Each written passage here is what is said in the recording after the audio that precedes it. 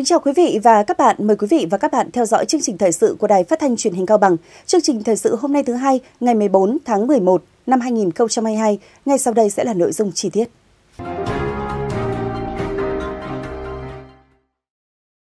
Chiều ngày 14 tháng 11, đoàn kiểm tra Trung ương Hội Nông dân Việt Nam do đồng chí Phạm Tiến Nam, Phó Chủ tịch Thường trực Ban chấp hành Trung ương Hội Nông dân Việt Nam làm trưởng đoàn đã có buổi làm việc tại Hội Nông dân tỉnh về công tác hội và phong trào nông dân năm 2022. Tiếp và làm việc với đoàn có đồng chí Triệu Đình Lê, Phó Bí thư Thường trực tỉnh ủy, Chủ tịch Hội đồng Nhân dân tỉnh, đồng chí Nguyễn Trung Thảo, Ủy viên Ban Thường vụ tỉnh ủy, Phó Chủ tịch Ủy ban Nhân dân tỉnh và đại diện lãnh đạo một số sở ban ngành.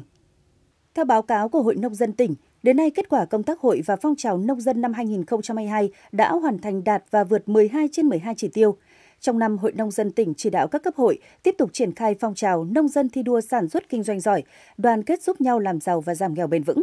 Tuyên truyền vận động được hơn 15.000 hộ đăng ký phấn đấu đạt danh hiệu sản xuất kinh doanh giỏi các cấp. Hơn 89.000 hộ nông dân đăng ký xây dựng gia đình nông dân văn hóa, tổ chức được trên 3.900 cuộc tuyên truyền cho hơn 200.000 lượt hội viên nông dân tham gia với nhiều hình thức phong phú. Vận động xây dựng được 4 mô hình sản xuất nông nghiệp ứng dụng công nghệ, thành lập được 10 hợp tác xã, 87 tổ hợp tác, hoạt động chủ yếu trong lĩnh vực chăn nuôi và kinh tế tổng hợp. Đến nay, quỹ hỗ trợ nông dân toàn tỉnh là 67 tỷ đồng, giải ngân 94 dự án, cho trên 600 hội viên vay vốn với tổng vốn 15,7 tỷ đồng. Phối hợp Ngân hàng Chính sách Xã hội cho vay trên 300 tỷ đồng, Hội Nông dân đang quản lý 647 tổ tiết kiệm và vay vốn với hơn 17.600 hộ, tổng dư nợ trên 1.000 tỷ đồng. Tại buổi làm việc, Hội Nông dân tỉnh kiến nghị với đoàn công tác một số nội dung, cần có các giải pháp huy động hoặc bố trí nguồn lực tổ chức các chương trình, đề án, xem xét bổ sung thêm nguồn vốn quỹ hỗ trợ nông dân, tổ chức tập huấn về công tác kiểm tra giám sát cho cán bộ hội cấp cơ sở, đẩy mạnh hoạt động ứng dụng công nghệ thông tin, ứng dụng khoa học kỹ thuật. Phát biểu tại buổi làm việc, Đồng chí Triệu Đình Lê, Phó Bí thư Thường trực tỉnh ủy, Chủ tịch Hội đồng Nhân dân tỉnh, đánh giá cao các cấp hội nông dân trong tỉnh đã phát huy tinh thần đoàn kết và đặc biệt chủ động tham mưu triển khai nhiệm vụ công tác hội theo chương trình kế hoạch của Trung ương hội. Tuy nhiên, các hoạt động phong trào nông dân của tỉnh chưa bền vững, các mô hình quy mô chưa hiệu quả.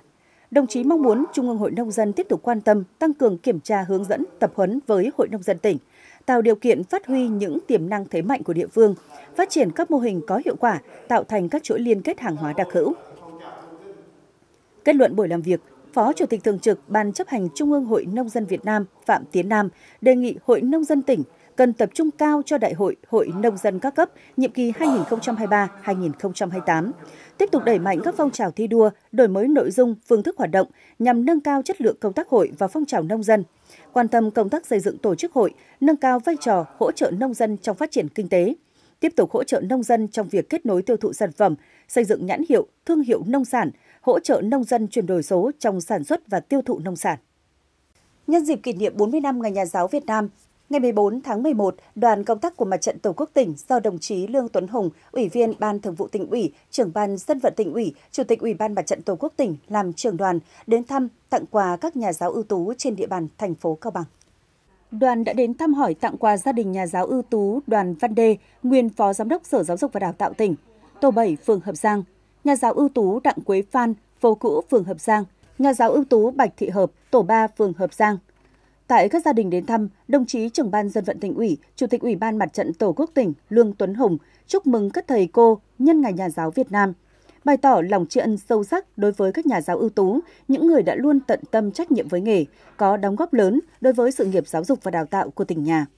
Khẳng định, nhân sĩ trí thức luôn là lực lượng quan trọng trong sự phát triển kinh tế xã hội ở địa phương – đồng chí mong muốn các nhà giáo tiếp tục phát huy vai trò trách nhiệm trong việc tuyên truyền vận động nhân dân thực hiện chủ trương đường lối của Đảng, chính sách pháp luật của nhà nước, tích cực tham gia thực hiện các phong trào thi đua yêu nước, các cuộc vận động, đóng góp trí tuệ, kinh nghiệm, tham gia xây dựng Đảng, xây dựng chính quyền, củng cố khối đại đoàn kết toàn dân tộc, góp phần thúc đẩy phát triển kinh tế xã hội của địa phương. Dịp này, Ủy ban Mặt trận Tổ quốc tỉnh sẽ trao tặng 12 xuất quà cho các nhà giáo ưu tú tiêu biểu trên địa bàn tỉnh. Đồng chí Tô Vũ Lập, Ủy viên Ban Thường vụ tỉnh ủy, chủ nhiệm Ủy ban Kiểm tra tỉnh ủy, đồng chí Hoàng Văn Thạch, tỉnh ủy viên, Phó Chủ tịch Hội đồng Nhân dân tỉnh đã đến dự Ngày hội đại đoàn kết các dân tộc ở khu dân cư Tổ 5, phường Sông Hiến, thành phố Cao Bằng. Tổ dân phố 5 phường Sông Hiến có 240 hộ với 916 nhân khẩu, 6 dân tộc cùng đoàn kết sinh sống. Năm qua, Tổ dân phố 5 đã thực hiện tốt 5 nội dung của cuộc vận động toàn dân đoàn kết xây dựng nông thôn mới đô thị văn minh, hỗ trợ giúp đỡ nhau phát triển kinh tế. Hiện tổ dân phố chỉ còn một hộ nghèo và một hộ cận nghèo. Tại ngày hội, cán bộ, đảng viên và nhân dân các dân tộc đã cùng nhau ôn lại truyền thống vẻ vang 92 năm xây dựng và phát triển của mặt trận Tổ quốc Việt Nam. Biểu diễn văn nghệ, chơi các trò chơi dân gian và tham gia ủng hộ quỹ vì người nghèo được trên 11 triệu đồng.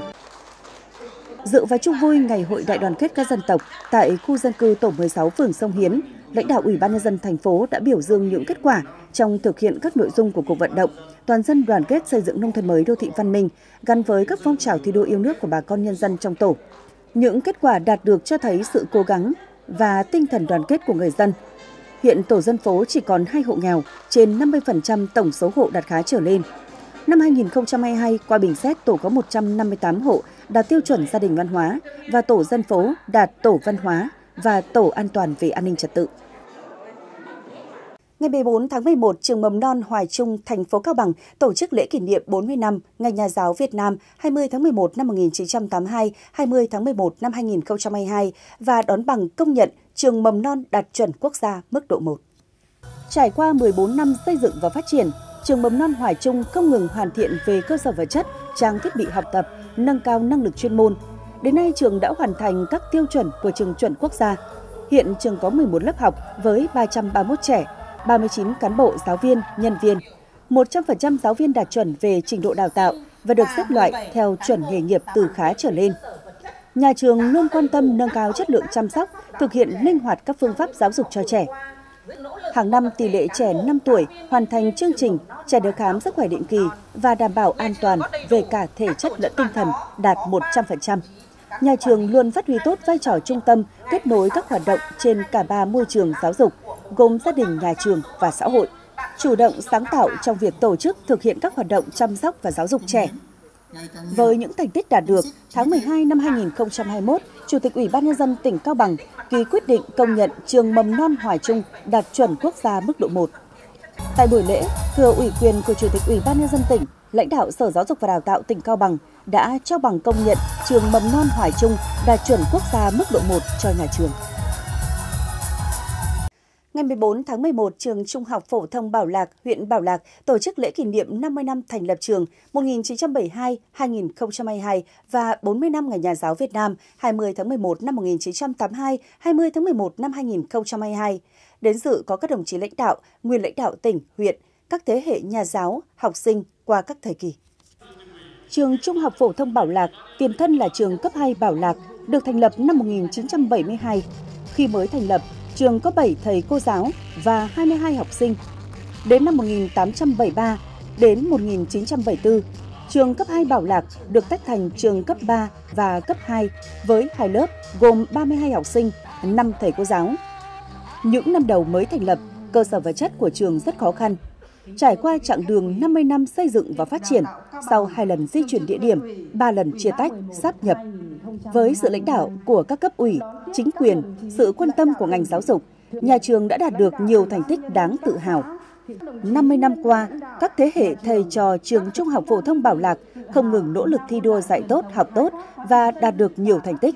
Nhiều thầy cô giáo đạt giáo viên dạy giỏi cấp huyện, cấp tỉnh, lao động tiên tiến, chiến sĩ thi đua cấp cơ sở, chiến sĩ thi đua cấp tỉnh,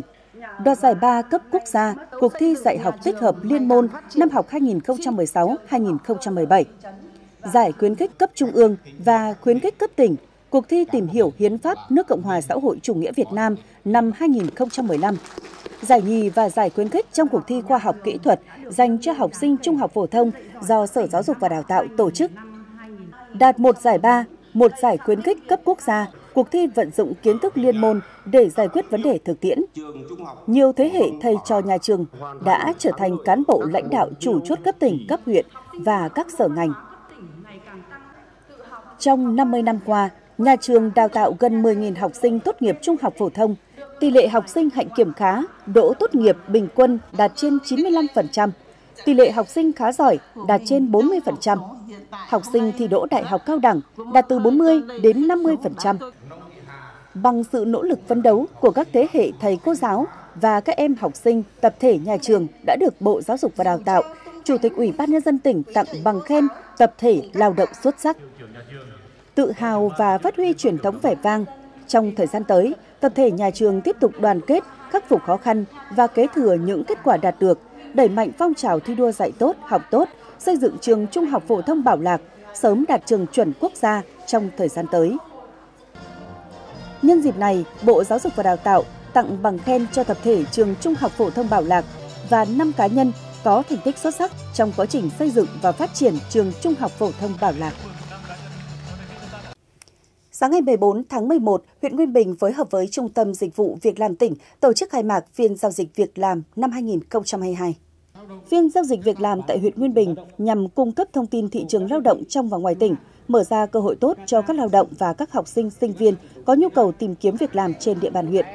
Phiên giao dịch năm nay có sự tham gia của 14 cơ quan đơn vị, công ty doanh nghiệp tham gia tư vấn tuyển dụng và quảng bá thông tin thị trường lao động và hơn 200 người lao động của 9 xã thị trấn. Sau khai mạc, các lao động đã tìm hiểu nhu cầu tuyển dụng của các doanh nghiệp và các cơ sở đào tạo, đồng thời các doanh nghiệp, cơ sở đào tạo đã tư vấn cho các lao động và học sinh sinh viên về những ngành nghề tuyển dụng của mình. Ngày 14 tháng 11, Ban thực thi dự án hỗ trợ kinh doanh cho nông hộ CSSP Hội Nông dân tỉnh phối hợp với Ban điều phối dự án CSSP tỉnh tổ chức lớp tập huấn về phương pháp khảo sát, đánh giá và phân loại nhóm đồng sở thích CG, tổ hợp tác cho hơn 60 cán bộ Hội Nông dân các cấp tại các xã thực hiện dự án CSSP. Trong thời gian 2 ngày, các học viên đã được nhóm tư vấn của công ty cổ phần giải pháp đô thị nông thôn truyền đạt kiến thức, phương pháp đánh giá và phân loại nhóm đồng sở thích. Tổ hợp tác đã được thành lập tại các huyện dự án CSSP gồm Nguyên Bình, Hà Quảng và Thạch An. Đồng thời, cung cấp các công cụ như các tiêu chí phân loại nhóm, bảng hỏi phỏng vấn, biểu mẫu nhập số liệu và theo dõi kết quả phân loại nhóm đồng sở thích. Hướng dẫn sử dụng bảng biểu theo dõi các nhóm CIG đã được cải tiến nâng cấp, chuẩn hóa các tiêu chí trọng tâm để đánh giá và phân loại nhóm CEG, giúp Hội Nông dân các cấp ghi chép và theo dõi dữ liệu về phân loại nhóm CEG. Trong khuôn khổ chương trình, các học viên cũng sẽ được thực hành cách thu thập dữ liệu tại nhóm CIG, tổ hợp tác Bó rừng 1, Bó rừng 2, Phạc chiến 1, Phạc chiến 2, xã Vân Trình, huyện Thành An. Qua lớp tập huấn, cán bộ Hội Nông dân các cấp được nâng cao năng lực để tiến hành thu thập dữ liệu, phân loại và đánh giá, và có các hỗ trợ cần thiết phù hợp cho từng loại nhóm đồng sở thích, đồng thời được cung cấp đầy đủ các công cụ, phương pháp phân loại nhóm để có cách tiếp cận hỗ trợ các nhóm CEG theo hướng bền vững sau khi dự án CSSP kết thúc. Với việc thực hiện đồng bộ các biện pháp kích cầu tăng trưởng du lịch, đến nay doanh thu du lịch toàn tỉnh tăng hơn 750% so với cùng kỳ năm 2021. 10 tháng đầu năm 2022, tổng lượt khách du lịch của tỉnh đạt 943.132 lượt, tăng 147,9% so với cùng kỳ năm 2021. Trong đó, khách du lịch quốc tế đạt 11.169 lượt, tăng 734,8%. Khách du lịch nội địa đạt 931.963 lượt, tăng 145,8%. Tổng thu du lịch đạt gần 500 tỷ đồng. Hiện nay trên địa bàn tỉnh có 299 cơ sở lưu trú du lịch với 3.812 phòng và 6.300 giường, gồm một cơ sở đạt tiêu chuẩn 3 sao, 19 cơ sở đạt tiêu chuẩn 2 sao, 64 cơ sở đạt tiêu chuẩn 1 sao. Còn lại là các nhà nghỉ, homestay đủ tiêu chuẩn kinh doanh du lịch. Năm nay, bên cạnh các điểm du lịch truyền thống, nhiều cơ sở kinh doanh đã đầu tư mở các tuyến du lịch mới, phát triển du lịch trải nghiệm, khám phá, sinh thái, du lịch cộng đồng, thu hút lượng lớn khách tham quan. Tỉnh cũng đã đẩy mạnh các hoạt động như tổ chức hội đàm, hội thảo, hội thi để quảng bá, giới thiệu về tiềm năng thế mạnh du lịch địa phương, nhất là vùng công viên địa chất non nước Cao Bằng, tăng cường tuyên truyền và xây dựng hình ảnh du lịch theo hướng thân thiện, an toàn, hấp dẫn – Tập huấn hướng dẫn cho hơn 100 đơn vị kinh doanh du lịch khai thác hiệu quả du lịch cộng đồng gắn với phát triển làng nghề, ứng dụng chuyển đổi số, liên kết với các công ty lữ hành trong và ngoài nước, mở các tour du lịch vùng miền. Đa dạng hóa sản phẩm du lịch phối hợp với đơn vị viễn thông nâng cấp cổng du lịch thông minh cao bằng tourist.vn. Phát triển ứng dụng du lịch thông minh trên smartphone với các tiện ích, tra cứu bản đồ, tìm thông tin chính xác về địa điểm, lập trình tự động theo nhu cầu đặt dịch vụ khách sạn nhà hàng dễ dàng, tiết kiệm thời gian, chi phí cho du khách, đồng thời giúp các doanh nghiệp cá nhân mở rộng cơ hội kinh doanh, quảng bá, tạo liên kết, phát triển chuỗi sản phẩm dịch vụ du lịch hoàn chỉnh. Ngày 14 tháng 11, Ban chỉ đạo 138 huyện Hòa An tổ chức hội nghị sơ kết cuộc vận động tập trung phong trào toàn dân bảo vệ an ninh Tổ quốc năm 2022 tại thị trấn Nước Hai. Dự hội nghị có đại diện lãnh đạo Công an tỉnh. Sau 3 tháng tổ chức thực hiện cuộc vận động tập trung tại thị trấn Nước Hai, tổ công tác đã tuyên truyền pháp luật được 100% xóm tổ dân phố và một trường học với 4.300 người tham dự. 100% hộ gia đình ký cam kết tham gia phong trào toàn dân bảo vệ an ninh Tổ quốc, vận động người dân giao nộp 10 khẩu súng tự chế, tiếp tục duy trì củng cố 3 mô hình tự quản và xây dựng một mô hình mới, camera giám sát an ninh trật tự. Nhân dịp này, huyện Hòa An đã tặng giấy khen cho 3 tập thể và 8 cá nhân có thành tích xuất sắc trong thực hiện cuộc vận động tập trung phong trào toàn dân bảo vệ an ninh Tổ quốc năm 2022 tại thị trấn Nước Hải. Trung tâm Chính trị huyện Hòa An tổ chức bế giảng lớp bồi dưỡng lý luận chính trị cho đảng viên mới khóa 3 năm 2022. Trong thời gian học, các học viên đã được nghiên cứu học tập 10 chuyên đề gồm chủ nghĩa Mark Lenin, tư tưởng Hồ Chí Minh, nền tảng tư tưởng kim chỉ nam cho hành động của Đảng và cách mạng Việt Nam, độc lập dân tộc gắn liền với chủ nghĩa xã hội và con đường đi lên chủ nghĩa xã hội ở Việt Nam, phát huy sức mạnh toàn dân tộc, dân chủ xã hội chủ nghĩa và con đường đi lên chủ nghĩa xã hội ở Việt Nam, đường lối phát triển kinh tế xã hội của Đảng, phát triển giáo dục và đào tạo, khoa học và công nghệ, xây dựng và phát triển văn hóa con người Việt Nam, bảo vệ môi trường, quản lý tài nguyên, tăng cường quốc phòng an ninh, bảo vệ vững chắc Tổ quốc, giữ gìn môi trường hòa bình, bảo đảm ổn định chính trị, trật tự an toàn xã hội, chủ động và tích cực hội nhập quốc tế, nguyên tắc tổ chức, hoạt động của Đảng và công tác xây dựng Đảng ở cơ sở,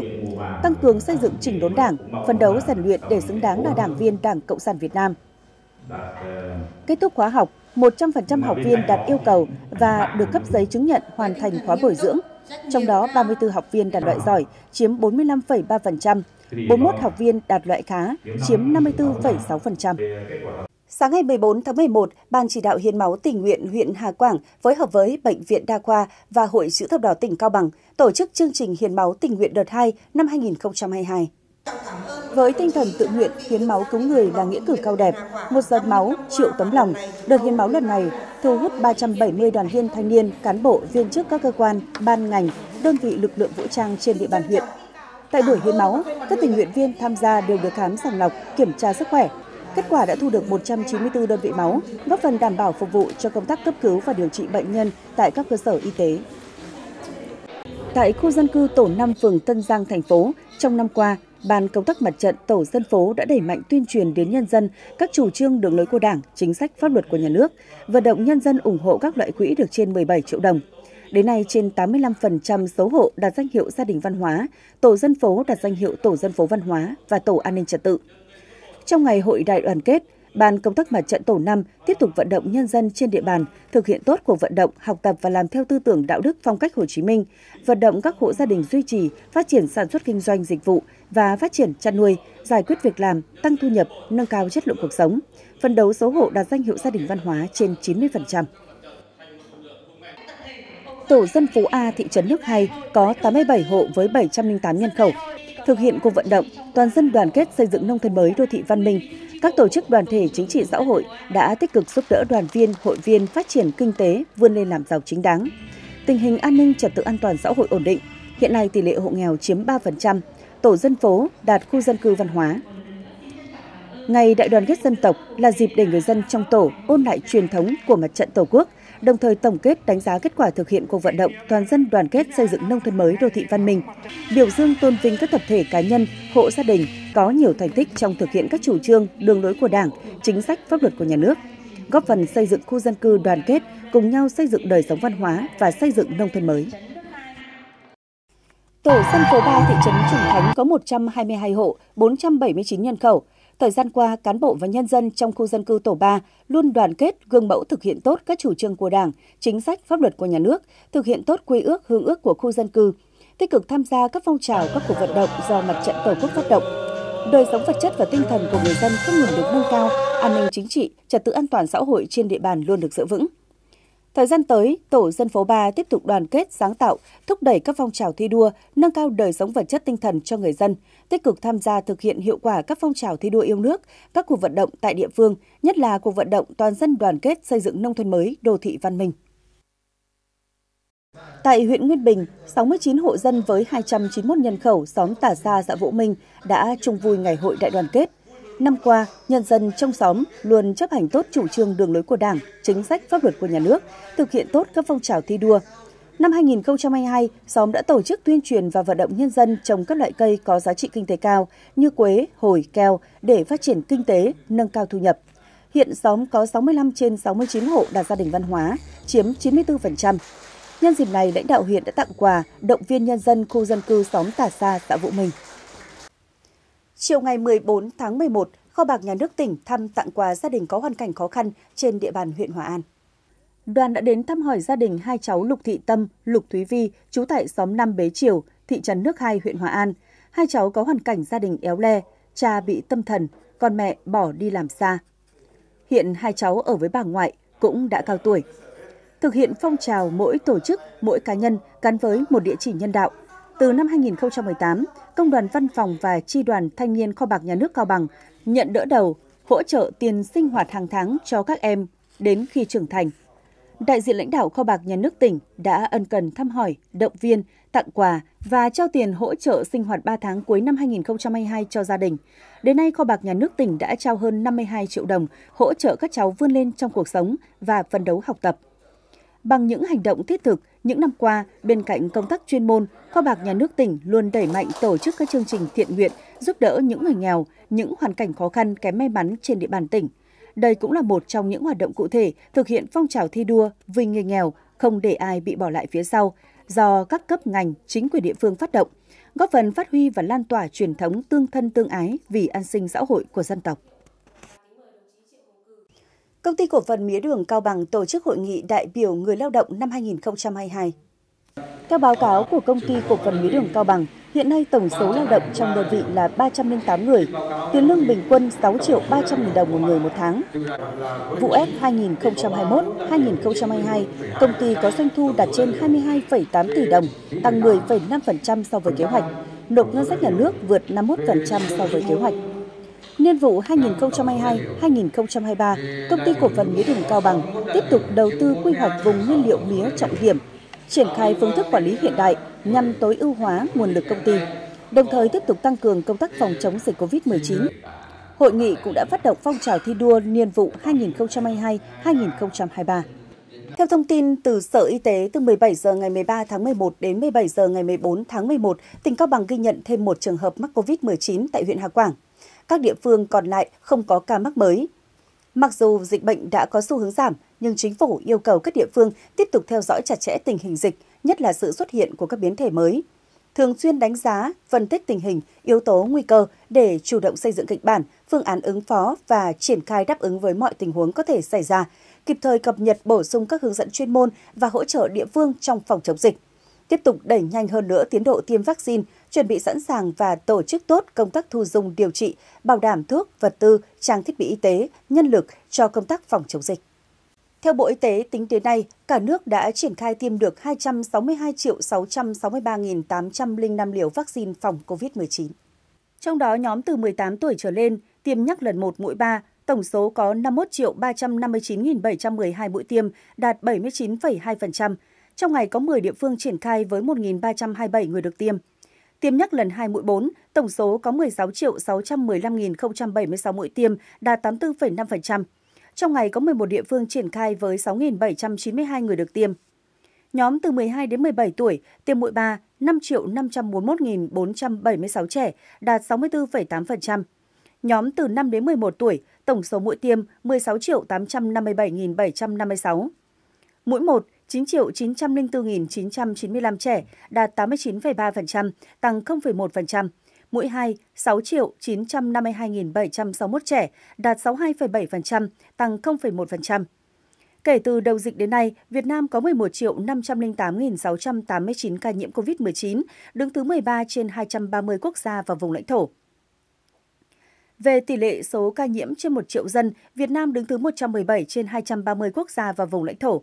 Bình quân, 1 triệu người có 116.304 ca nhiễm.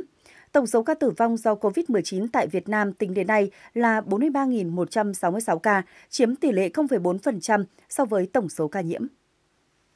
Thưa quý vị và các bạn, điểm trường Phia Cỏ 2 là nơi xa và khó khăn nhất của trường tiểu học Nam Cao, xã Nam Cao, huyện Bảo Lâm.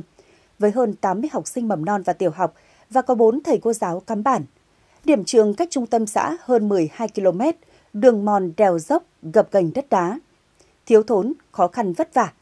Thế nhưng những giáo viên cắm bản vẫn ngày đêm miệt mài mang cái chữ truyền thụ cho học trò nghèo đã và đang viết nên câu chuyện thật cảm động ở vùng cao. Hôm đầu tiên đến nhận công tác thì nói chung là ngay cả bản thân tôi thì cũng không nghĩ rằng nó xa như thế đâu. Bởi vì ở nhà thì chưa bao giờ định đi xa như thế và chỉ biết không biết là Bảo Lâm ở đâu đâu. Đến Bảo Lâm rồi thì cũng không nghĩ rằng cái điểm trường nó xa như thế. Từ hôm nhận công tác là từ quyết định là mùng 10 tháng 9 nhưng mà đến tận 16 tháng 9 tôi mới đến điểm này. Bởi vì cũng đi vào theo quyết định rồi nhưng mà xa quá ấy, thì nghỉ dừng chân ở ngoài bên ủy ban xã ấy, ở mấy hôm. Xong thì sau hôm đấy xong thì chủ tịch ấy sắp xếp được người xong đưa lên ấy thì mới có người dẫn lên thì không biết đường còn bình thường không biết đường. Lúc cả hôm vừa lên ấy thì nói chung lên trên này phòng không có. Thì dọn mái mới được một chỗ để giải cái chiếu để nằm. Xong thì cũng cảm giác lúc đấy là cũng không nghĩ rằng sẽ cố gắng đến đến giờ phút này đâu.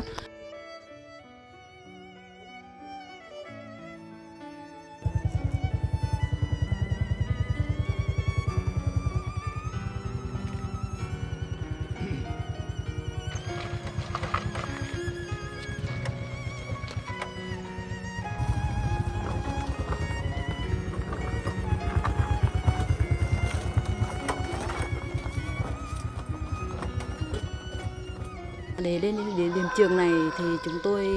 cùng tất cả các thầy cô giáo ở trên điểm phải đi một quãng đường rất là khó khăn, phải đi tầm hơn 2 tiếng đi bộ.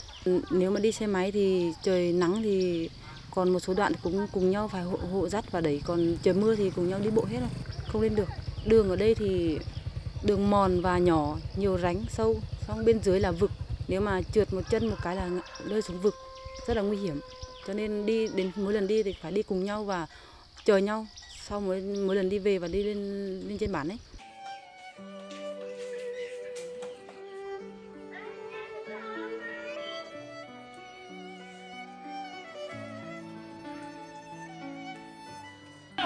À, thế đang ăn sáng hả con à? Sao hôm nay lại ăn sáng muộn thế? Thế á? À, thế con ăn sáng đi thế à? Nhá. Ở đây là đường xá thì đi lại khó khăn, điện thì không có, sóng điện thoại cũng không có mà cả tuần muốn liên lạc về nhà thì cũng rất là khó khăn. Ừ, ở nhà muốn liên lạc với ờ, tôi thì cũng rất là khó khăn.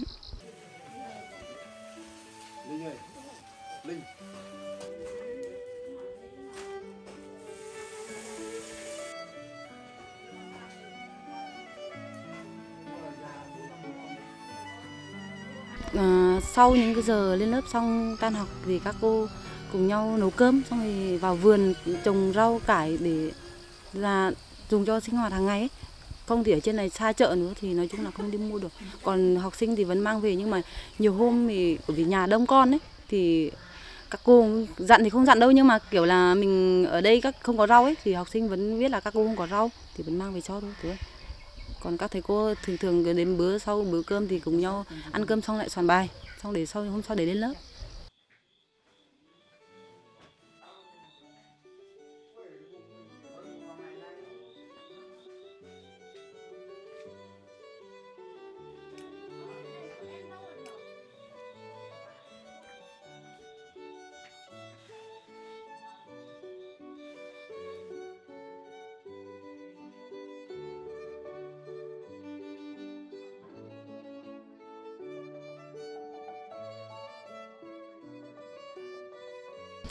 Việc dạy học ở trên điểm này rất là vất vả bởi vì các con toàn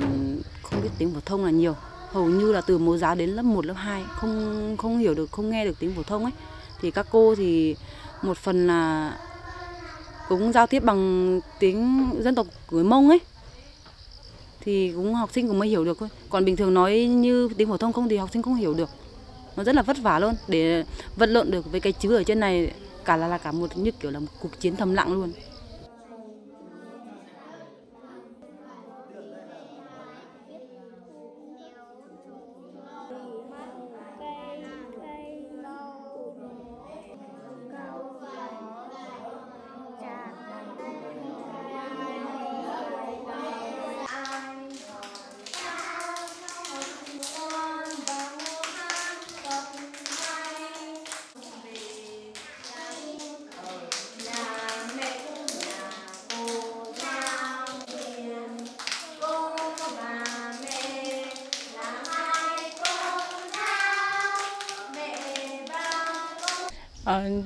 Chơi khó khăn của các em ấy thì ừ, nhiều khi ừ, đường xá đi lại khó khăn nhiều lúc là muốn giúp cho các em bữa trưa có một bữa trưa ngon hơn có thêm một gói mì tôm. Nhưng mà đường xá thì khó khăn quá thì các cô cũng không thể mang lên được nhiều. Thì một tuần cũng chỉ ừ,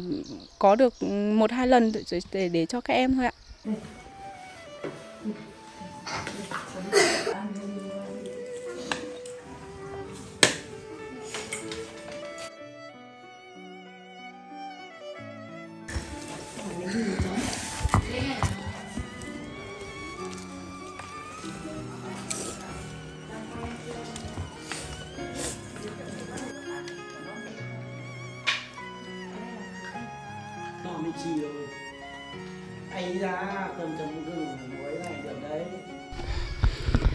Chung là cũng- à, bản thân tôi thì cũng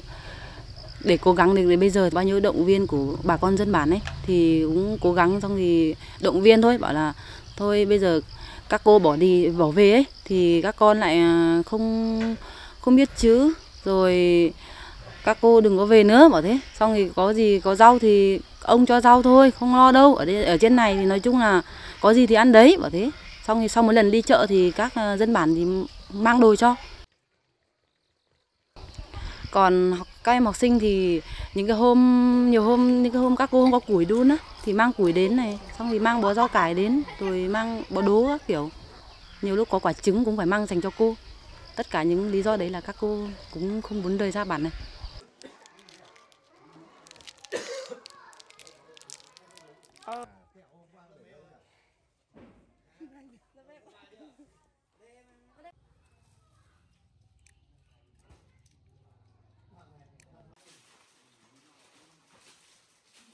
Ở trên này thì mong muốn đầu tiên cũng là đầy đủ đồ dùng học tập này. Xong thì cũng mong là các con em thì đi học đầy đủ hơn. Xong thì nghe lời thầy cô thì thôi, bởi vì ở trên này thì cũng không mong muốn được cái gì hơn là ngoài đi học đi học đầy đủ thì cũng không có cái gì lý do nào hơn. Còn chứ những cái ngày lễ các kiểu thì cũng không cũng không mong muốn được. Các con đi học đầy đủ là bản thân tôi cũng thấy vui lắm rồi. Để các con biết đọc, biết viết ấy, thì đúng là đúng là niềm hạnh phúc của tôi ở trên vùng cao như thế này bởi vì để vật lộn được một cái con chữ ví dụ từ chữ số 1, số 2 không thì cũng đã là cả một quá khó khăn rồi. Thì bây giờ nhìn các con biết đọc biết viết đúng là tôi cũng thấy vui và hạnh phúc. Ờ, nhiều khi thì cũng nhớ nhà nhớ con nhớ nhà. À, nhưng mà nhìn các em học sinh ở đây thì là tôi cũng muốn gắn bó ở đây lâu dài ạ tôi đã chọn cái nghề này thì tôi cũng rất yêu nghề này và muốn tôi chỉ biết nói là tôi yêu nghề và muốn gắn bó lâu dài ạ Cuộc sống này có rất nhiều lựa chọn, nhưng lựa chọn lên vùng cao, gắn bó với những vùng núi cao này, thì không phải ai cũng đủ dũng khí và can đảm quyết định. Khó khăn trên đường tới trường, không có điện, không sóng điện thoại, thiếu nước sinh hoạt, học sinh 100% là dân tộc Mông, cha mẹ các em chưa có thói quen cho các em đến trường. Vì thế giáo viên lại trèo đèo, lội suối, đi vận động là những trở ngại duy nhất mà các giáo viên cắm bản phải vượt qua. Đôi khi chúng ta không có quyền lựa chọn con đường mà mình đi, nhưng có quyền lựa chọn cách sẽ đi trên con đường đó. Những thầy cô giáo ở điểm trường phía Cỏ 2 đang ngày ngày cõng chữ lên non cùng bao nhiêu khó khăn vất vả của cuộc sống, nhưng bằng sự lạc quan, tình yêu với con trẻ, nhiệt huyết với sự nghiệp chồng người, chính là cách mà những người giáo viên ở đây đã chọn để đi trên con đường của mình. Những ánh mắt ngây thơ của con trẻ, tiếng ê a của học trò là động lực để các thầy cô giáo vượt qua tất cả. Dẫu núi có cao, nhưng ở đâu có tình yêu thương, có sự hy sinh, sự cố gắng, thì nơi đó ắt có hạnh phúc. Nội dung vừa rồi đã khép lại chương trình thời sự hôm nay của Đài Phát thanh Truyền hình Cao Bằng. Cảm ơn quý vị và các bạn đã quan tâm theo dõi. Xin kính chào và hẹn gặp lại quý vị trong những chương trình sau.